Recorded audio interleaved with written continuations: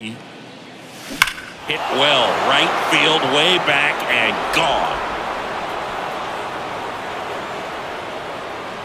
Rafael Devers rounds the bases, and they add on. It's 3 nothing. Back-to-back jacks, and this club is fired up right now, Boog. I mean, this is the kind of thing where you really start to notice hitters in a lineup feeding off each other, and the collective confidence just continues to grow.